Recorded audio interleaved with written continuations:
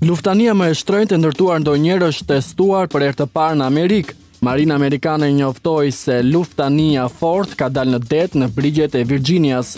Shkatruesi më i madhi i ndërtuar ndonjëherë në Amerikë nisi ditën e parë të testimeve në det për të provuar sistemet. Anija e luftës me kosto prej 12.9 miliard dollarë u ndërtua më vonë se sa ishte parashikuar dhe me kosto më të madhe.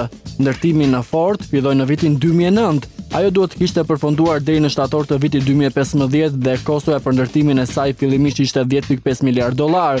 Vonesat për vënien në punë të luftanies u shkaktuan nga problemet me sistemet e avancuara të transportuesit dhe teknologjisë, duke përfshirë pajisjet për uljen e avionëve dhe prodhimin e energjisë. Ajo do të kthehet në port në Virginia para se të kryejë përsëri testimin e pranimit, e cila bëhet nga inspektorët e marinës.